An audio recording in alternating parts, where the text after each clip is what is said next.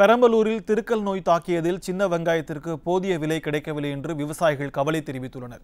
பெரம்பலூர் மாவட்டத்தில் எசனை ஆலத்தூர் செட்டிக்குளம் லாடபுரம் குறும்பலூர் மேலப்புலியூர் உள்ளிட்ட இடங்களில் அதிக அளவில் சின்ன வெங்காயம் பயிரிடப்பட்டு தற்போது அறுவடை பணிகள் நடைபெற்று வருகின்றன. இந்நிலையில் திருக்கல் நோய் மற்றும் பனிப்பொழிவு காரணமாக இந்த ஆண்டு வெங்காய உற்பத்தி பெருமளவில் பாதிக்கப்பட்டுள்ளதாக கூறப்படுகிறது. இதனால் சின்ன வெங்காயம் கிலோவுக்கு ஐந்து முதல் பத்து ரூபாய் வரை மட்டுமே விற்பனையாவதால் விவசாயிகள் கவலை அடைந்துள்ளனர்.